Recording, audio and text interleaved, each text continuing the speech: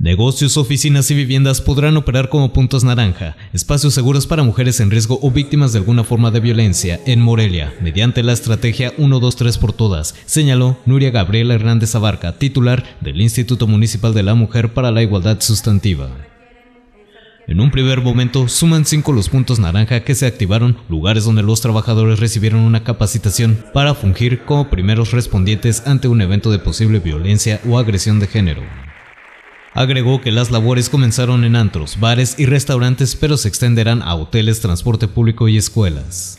Eh, la idea de este programa 123 y la instalación de, puntos naranja tiene que ver con el compromiso transversal de la administración, pero también de la ciudadanía, para poder poner espacios en donde las, las mujeres puedan sentirse seguras o a dónde acudir en determinados momentos.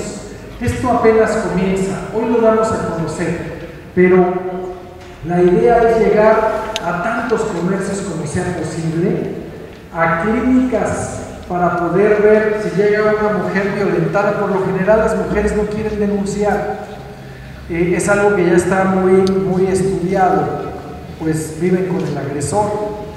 Y es importante que capacitemos a las clínicas para que cuando llegue una mujer con signos de violencia, pues que pueda saber qué hacer, a quién acudir, cómo orientarla, cómo animarla para poder denunciar o qué, o qué es lo que, lo que procede. Entre más seamos los puntos definidos, más fácil va a ser, pero aparte se va contagiando alrededor o en el entorno del punto que se capacitó. Porque no se trata nada más de capacitar a un punto para que pueda ayudar a alguien que es eh, alguien que sufre de violencia, sino también que puedan entender la violencia y todos sus tipos y se puede ir contagiando.